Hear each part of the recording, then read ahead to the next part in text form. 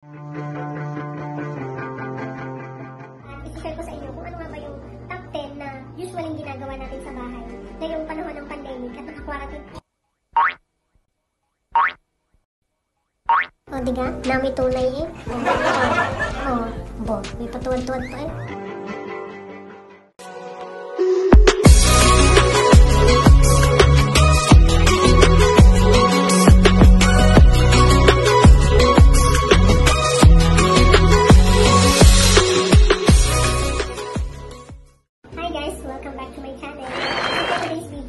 Medyo makabuluhan ulit yung ating content na ito at isi-share ko sa inyo kung ano nga ba yung top 10 na usually ginagawa natin sa bahay ngayong panahon ng pandemic at naka-quarantine tayo sa mga bahay natin. Ano?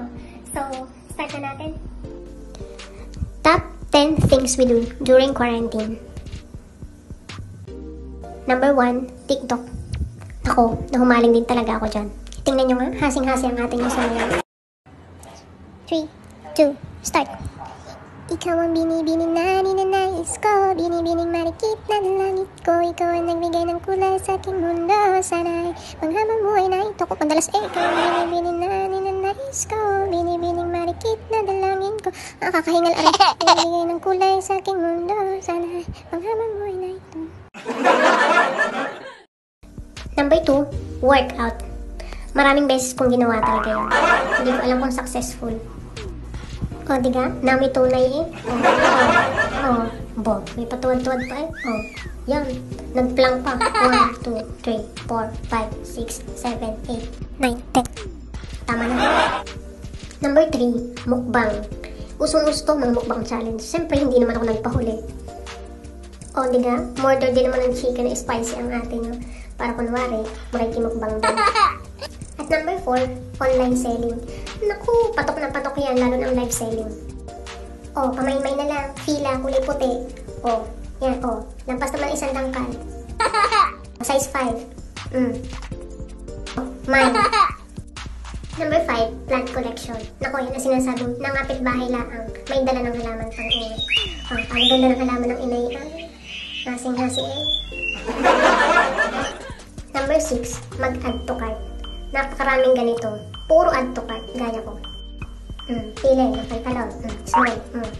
Okay? Hmm. Hmm. Hmm, add to cart. Add to cart na. Yeah, no miss eh, kasay. Number 7, manood ng mga life hacks at DIY sa YouTube. As usual, ganyan din ako. O, oh, diba? Seryosong seryoso ako eh. Paano kaya matatanggal ang eye bag ko? Number 8, watch K-drama. Siyempre, yan ang hindi hindi ko makakalimutan. Manood, manood, at manood. Ay, kilig na kilig eh. Oh. Oh. Ko. Oh. Yan. Oh. Enjoy na enjoy si ate. Oh. Ayos eh, panonood. At syempre, ang number 9, Mobile Legends. Ang daming na humaling dito, lalo na yung mga lalaking yun. Halos hindi na nga kami i-chat eh. Puro na lang ang welcome to Mobile Legends. Lagi namang talo. Mm. At syempre, number 10, ang pagbablog. Gaya ng ginagawa ko ngayon, halos yun na lang lagi talaga ang pinagbibigyan ng oras, mag-vlog.